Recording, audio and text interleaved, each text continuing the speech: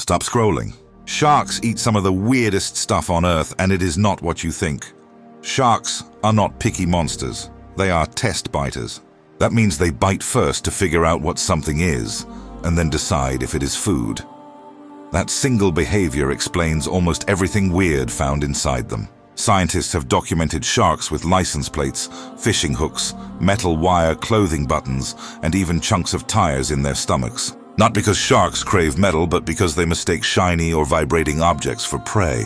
Their electroreception can detect tiny electrical signals as weak as a heartbeat. If it buzzes, splashes, or flashes, a shark may investigate with its mouth. Here is a wild fact.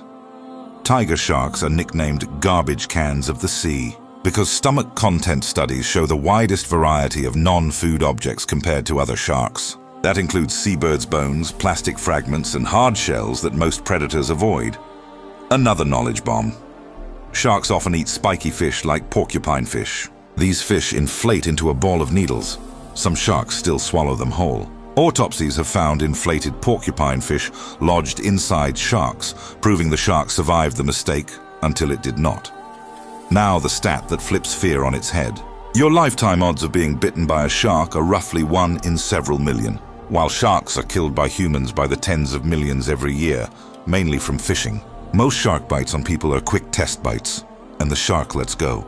So why do sharks eat weird stuff? Curiosity, powerful senses, and a bite to identify objects.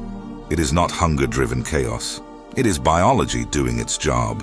If this blew your mind, tap like and subscribe for more real ocean truth. Stay wild.